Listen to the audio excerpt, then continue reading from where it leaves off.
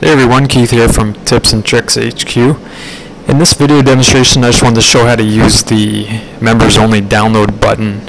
Um, the way it works essentially is you provide a digital product on your website and when a non-logged in user or somebody without the right amount of credentials tries to access that product, there will be an add to cart or a buy now button for them. And on the same page, uh, if a user is logged in, and they have the proper privileges, then they'll see a, a download button instead. Okay, so let's set that up here. Um, first thing we want to do is, of course, get this this add-on. Uh, it's for paid members of the WP eStore and WP eMember um, plugins. So once you have those, you can log in, and then um, in the add-on download area, you can get this add-on here. And Right under WP eStore, you'll see a menu option, Members Only button. So the first, we're just going to put a series of numbers in here based on our settings. So the first thing we want to put in here is a product ID. And of course you go to the your product listing to get that product ID. So make sure it's a digital product. And we'll put in that number in there. And fancy display number, that has to do with the, uh, the look and feel of the actual um, product on the website. So we there's um, 13 different options that we can choose from, and they're all listed on this page here. The but you could just try different ones. Um, they all look really good, and you can change them afterwards um, within the shortcode. So I'm gonna go with six.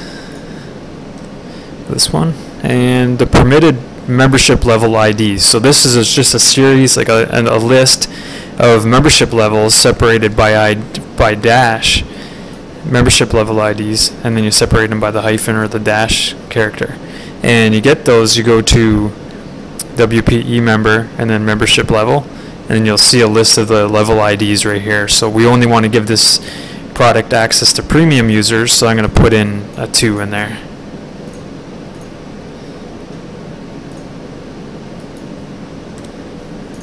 Okay, and then the button that we want to show for non-permitted users. So do we want to show an add to cart button or a buy now button? I'm just going to choose add to cart. And then we're going to choose a download button for permitted users. So that's why I got number 4 in there. Let's generate the shortcode. Okay, and here's the shortcode that we can put onto a post or a page. And this style number right here, that's where we can change the look. If we don't like the look, we can just modify this number after it's in our post and then then we won't have to regenerate this shortcode. Okay, so we'll go to a post here. I'll update that. And we'll view it on the website.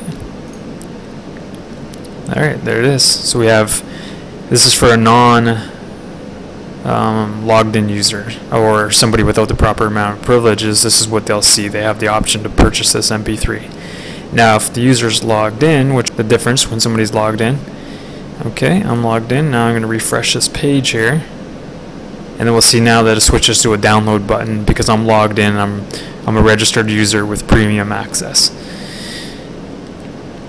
Alright, that's it. Again, this is Keith from Tips and Tricks HQ. Thanks for watching.